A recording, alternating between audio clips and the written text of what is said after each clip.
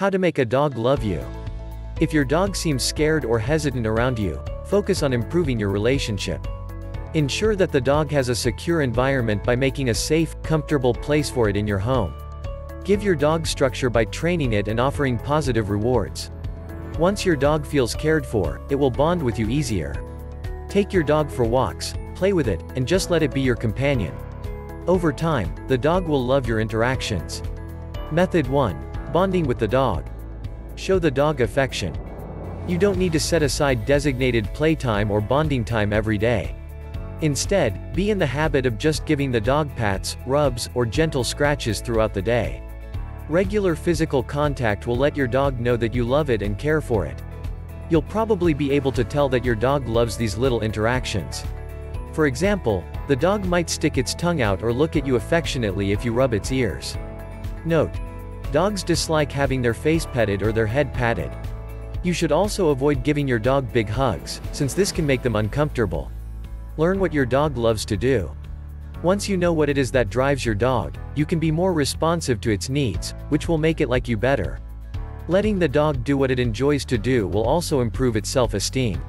For example, if your dog loves playing fetch or digging, throw a ball around every day or create an approved space for your dog to dig, such as a doggy sandbox. Give your dog toys.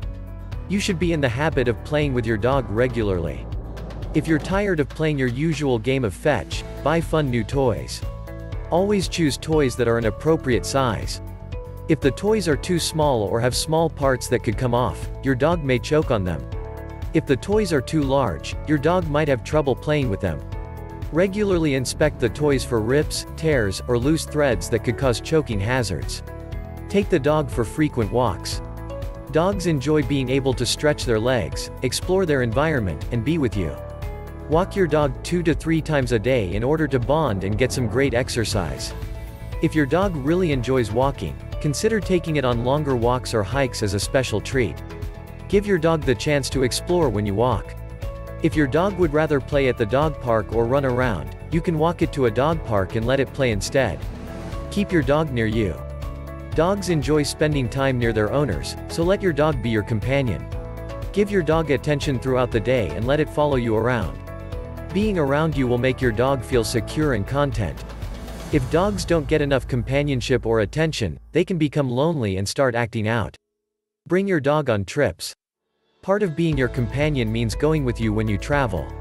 Take your dog out to experience new places, people, or other dogs. Choose places that are dog-friendly like the beach, lake, dog parks, forests, or dog shows. Your dog will love seeing new things with you. Consider laying a sheet down in your car to make your dog comfortable and keep your seats clean. Method 2. Providing a healthy environment. Create a comfortable space for the dog. Most dogs love sleeping in bed with their owners. Decide if you'd like to let the dog sleep in bed with you or if you want it to have its own cozy space. To make a space that your dog will love, set out a dog bed with blankets and chew toys in a corner of a living room. This area will give your dog a chance to have its own private space while still being part of the household action. If your dog is in its space, ensure that other pets or kids aren't bothering the dog. The dog should feel like it can safely relax. Groom and feed your dog. Many dogs naturally love the people who feed and care for them. Give your dog nutritious meals every day and use that time to interact with the dog. You can hand feed your dog every once in a while or hide food in treat puzzles. You should also be in the habit of grooming your dog and checking its coat for health concerns. Look for skin irritation that could be bothering your pet. For example, if you find fleas, Talk with the vet about the best treatments that will give your dog quick relief from the itching. Practice positive reinforcement training. Your relationship will improve if your dog knows how to respond to basic commands, such as sit, stay, come, and heel.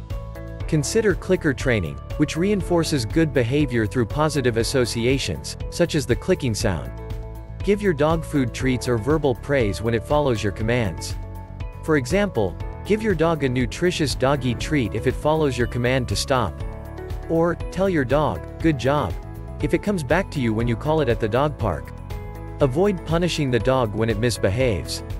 If you use positive training, you won't need to punish your dog when it misbehaves. Just redirect the dog and reward it as soon as you see the dog behave correctly. Never yell at, hit, or frighten your dog. Reacting in anger will make the dog fear you and can damage your relationship. Be patient with the dog. Some dogs will take longer to respond to training than others. Socialize your dog. It's easy to forget about your dog's relationship with other dogs or people if you're trying to get it to love you. Keep in mind that your dog will be happier and more fulfilled if it's coming into contact with other dogs or people. Try to let your dog socialize with others in a calm, structured environment instead of in a chaotic place where the dog might feel overwhelmed. For example, instead of just letting the dog run around the dog park, you might visit a friend that has a calm dog. Give the dogs the chance to interact, but don't force them. Keep your dog healthy.